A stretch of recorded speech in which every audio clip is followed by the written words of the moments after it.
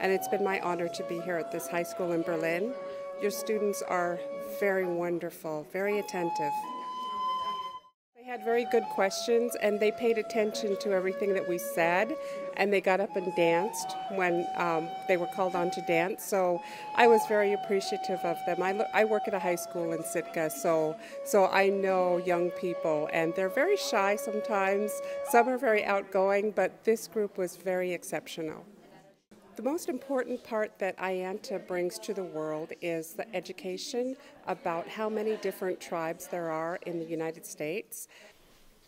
And we were forced to give three choices either to move to Oklahoma, what Angel was talking about, next to the Rio Grande River, or the place that we originated from, the Southwest Desert.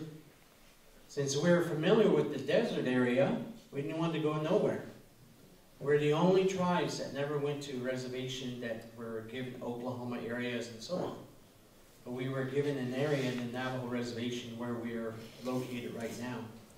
There are many, many different tribes, and the foreigners, if they don't go through a good travel agent or uh, a guide, then they won't know all of this information. We do um, teach a little bit in the classroom as well, of course, but um, obviously we can only scrape the surface on that topic, and so it was very, very um, well a great experience for them to find out from in person about their cultures, their food, all their clothes, their dances. They could ask all the questions um, that they had in the classroom which we couldn't answer. So that was a really um, valuable experience for them.